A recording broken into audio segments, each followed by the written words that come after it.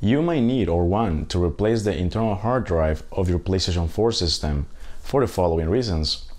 Additional storage space to your console, increased performance speed, and hard drive failure. Today we're going to address all these things, so stick around till the end.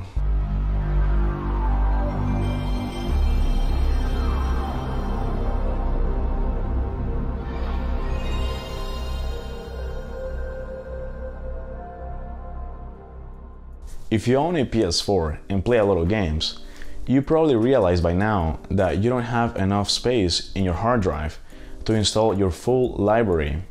Therefore, in order for you to download new games, you need to delete the old ones. But there are times where you would like to go back to those old games, and there you have the same problem again. Not to mention that there are games that are over 100 gigabytes in size. Plus, if you have a slow internet, it may take many hours or even days to download. And even if you have a fast internet, this is not a practical solution. If you have a hard drive failure, you may have very subtle symptoms such as loading screens that are taking longer than usual, um, suddenly crashes, and you may notice that the UI is very slow. Or it can get to the point where your PS4 won't even boot up.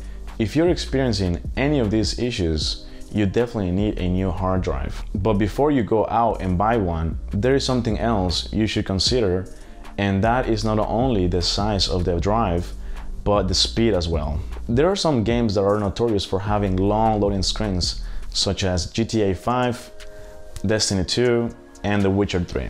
So I started searching for the perfect hard drive at a reasonable price. And it was hard to make a choice because if you're looking for the fastest drive, SSD is the way to go. But as you may know, they are very expensive. And in the other hand, the cheaper 5400 RPM hard drives are very slow. Fortunately, I found a middle ground with the Seagate FireCuda Gaming Hybrid 2TB SSHD.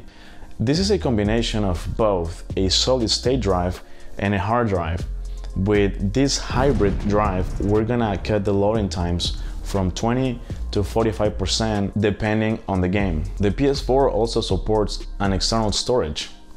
Now, you may think this is the best solution, but if you're like me, I take my PS4 everywhere.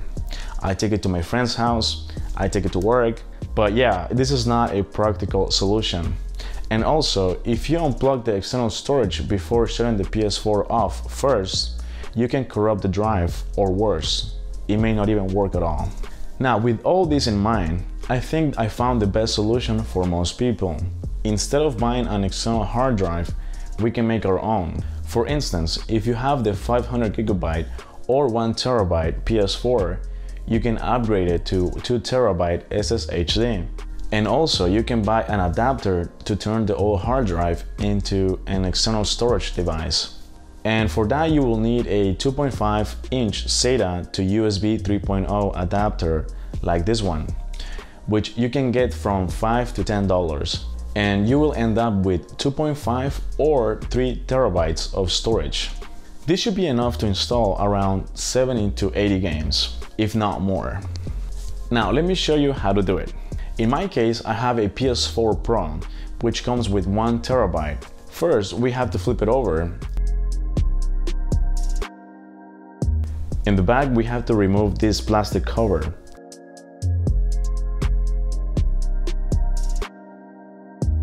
And then remove this very unique screw.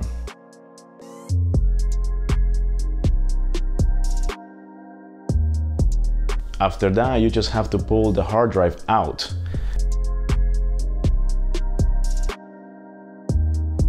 Then we need to remove two screws on each side of the metal case.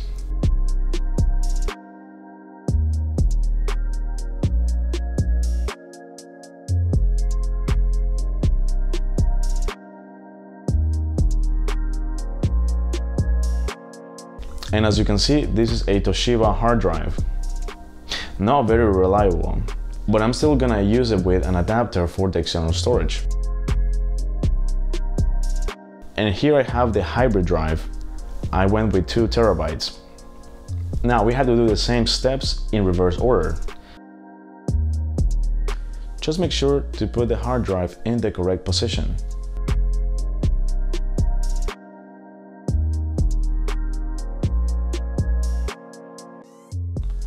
Next, just slide it back in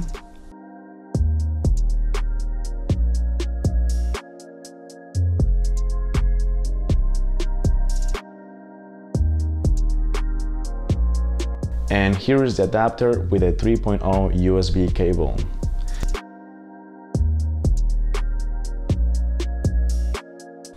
All we have to do is to place the hard drive inside like so. And now I have one more terabyte as an external storage.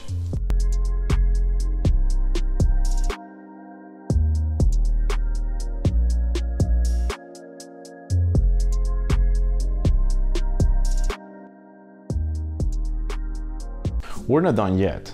We still have to install the operating system and for that we need a computer and a USB flash drive.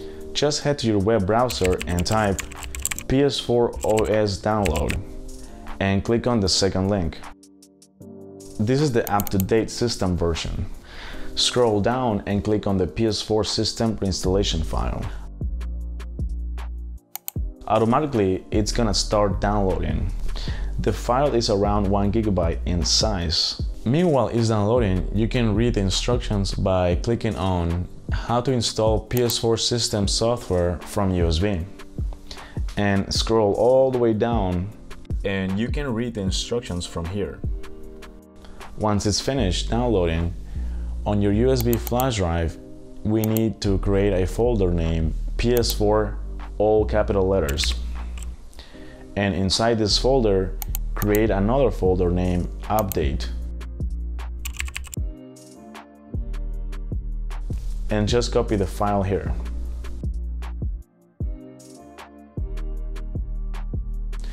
And connect the USB drive onto the PS4, as well as the controller using the USB cable.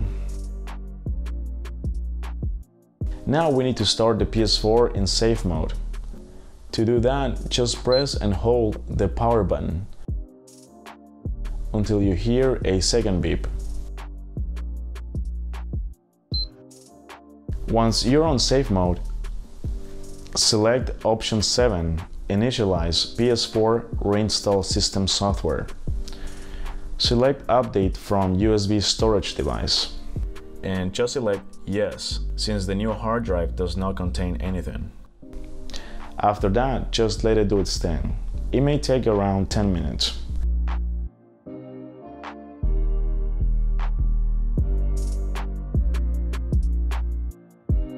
Once it comes on, you're gonna have to go through the same setup you did when you first got your PS4. And that's it. Now you can start downloading all your games. But another thing I would like to mention is that your PS4 won't automatically detect the new external storage device. When you plug it in, you will get a pop-up message that says this USB storage device's file system is unsupported we need to format it first.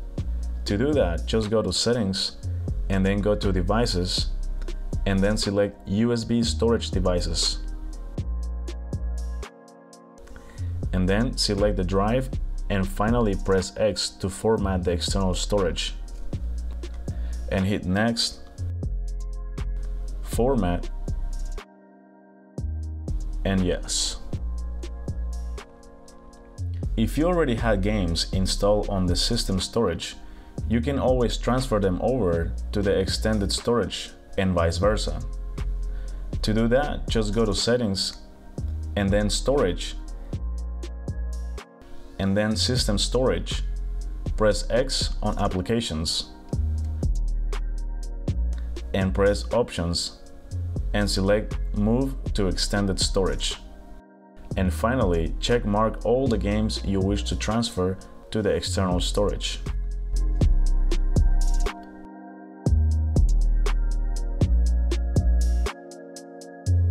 I also wanted to show you some real-life speed improvements with this new hybrid drive. Okay, to start, I got GTA 5. On the left, we have the old Toshiba hard drive, and on the right, the new Seagate SSHD.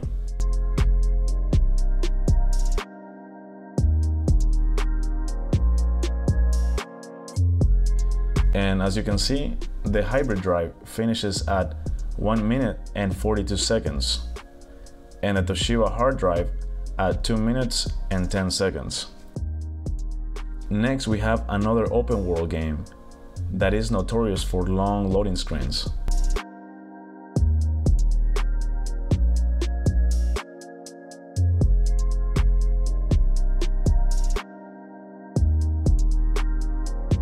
And here we only have a difference of 12 seconds, which is not much, but is still considered an improvement.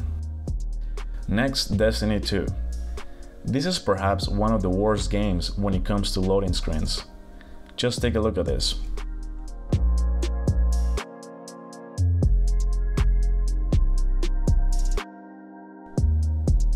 The hybrid drive is done at a minute and 54 seconds.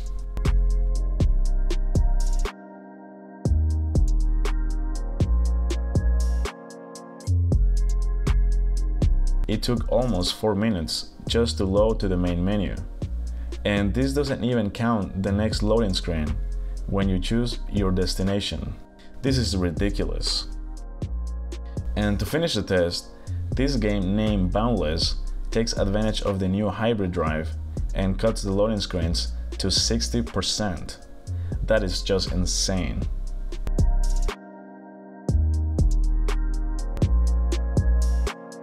If you wanna get this drive, I will have the links to everything I mentioned in the video description. Thank you so much for watching. If you found this video useful, give it a like and share it, and consider subscribing for more featured videos just like this one.